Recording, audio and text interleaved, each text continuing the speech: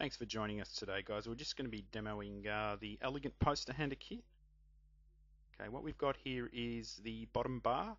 Very strong aluminium, can uh, hold uh, qu quite heavy um, pieces of um, artwork or prints.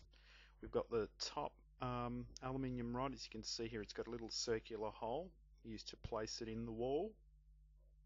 And we've got these um, plastic clips that actually attach to the top and bottom of the print that are then used to slide over the bars.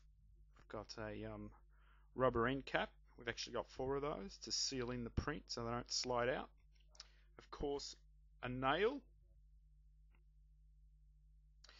Then we've got some uh, protective strips that are actually placed on the print before the uh, plastic clips are put on. We've got instruction manual.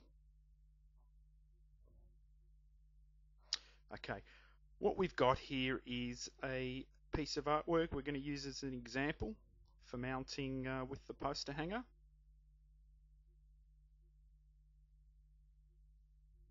So what we're going to do first is to apply the protective strips at the top and bottom and after we do that we um, can then apply the clips. Now so what we do with we fold over the strips top to bottom and then crease them. Just slide your finger across like that. There you go. And then what we do is we're going to attach these protect protective strips in place at the ends and in the middle. We'll start off in the middle.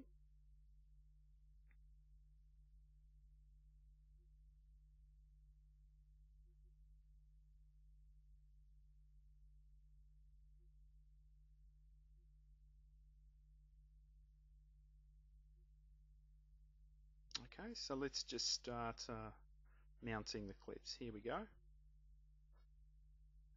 going to start in the middle.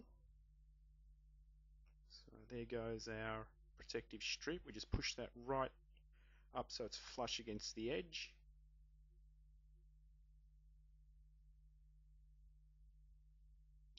Now we take one of our plastic clips, there it is, and you've just got to apply this at an angle and then slip it on.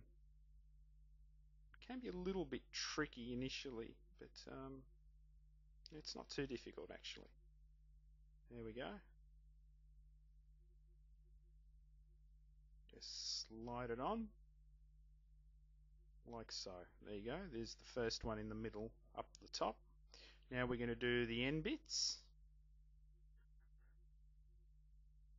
Okay, so we've got a finished uh, piece here. We just saved you the uh, trouble of watching us do all of that.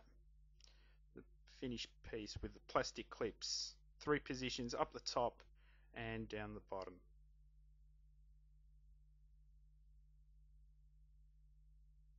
And what we're going to do is take our top rod, that's the one with the hole in the center, as you can see.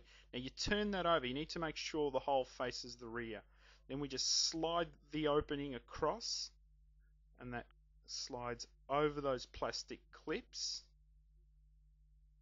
It's quite a simple system actually. You slide it over and the clips cannot slide out. So that's what actually keeps keeps the print um, secured within the um, metal rod. Now we do that to the bottom. You can slide it from left to right or right to left, whatever you prefer. There you go. We'll just slide the bottom one on like so. Okay. So there you go. We're going to put on the end caps to seal it in. Just We've just sped this up just a little bit. There you go. The rubber caps, they go on each end of uh, both bottom and top aluminium rod. There goes the other one. Here's a bit of strength. On it goes. Do that to the bottom as well.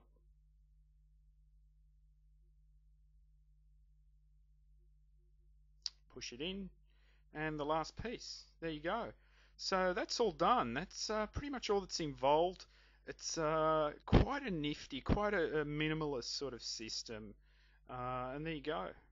You can swap out prints whenever you like. Uh, it's very popular.